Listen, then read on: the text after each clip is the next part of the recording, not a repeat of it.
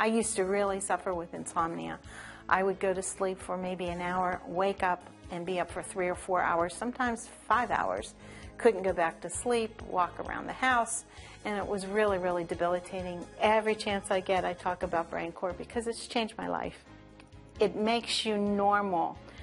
You know, after thinking that you're abnormal for a long, long time, it makes you realize that it wasn't you per se. Your brain just took a little trip the wrong way, and BrainCore brought my brain back. And I'm really happy about that.